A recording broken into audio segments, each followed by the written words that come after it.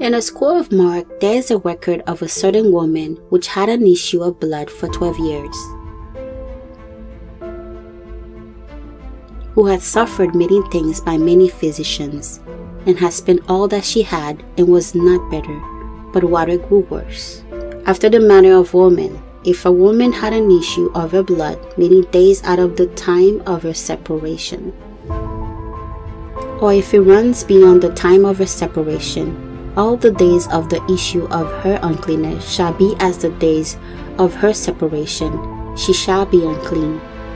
According to the scroll of Leviticus, normally a woman with an issue of blood will set herself apart seven days each moon, but in this particular case, this woman had to set herself apart 12 years.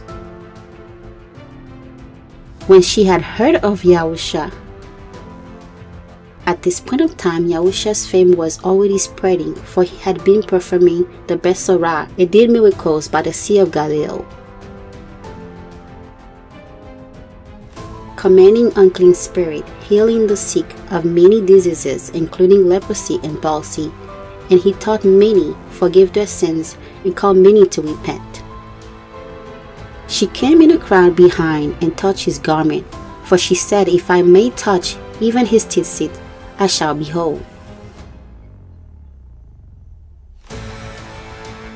And immediately the fountain of her blood was dried up, and she felt in her body that she was healed of that plague. And Yahusha immediately knowing himself that power had gone out of him, turned around to the crowd and said, Who touched my clothes? And his disciples said unto him, You see the multitude thronging you, and you say, Who touched me?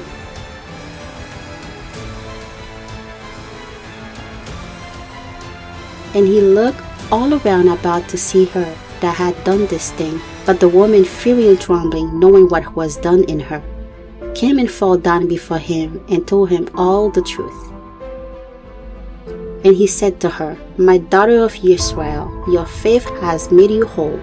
Go in peace and be whole of your affliction.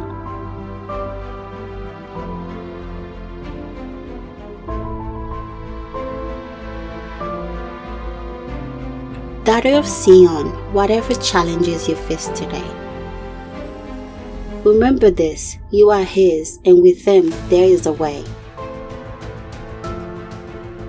and we will learn in part 1 how she recognized power and authority and how she received peace and healing. She recognized power and authority.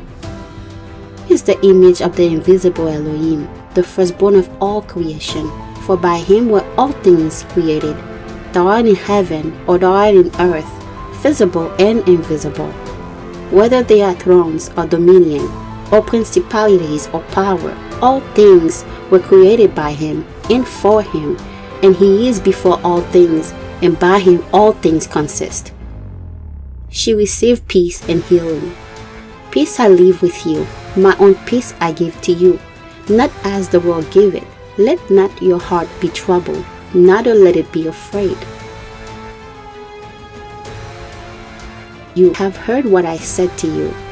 I go away and come to you again. If you love me, you will rejoice, because I said I go to the Father, for my Father is greater than I.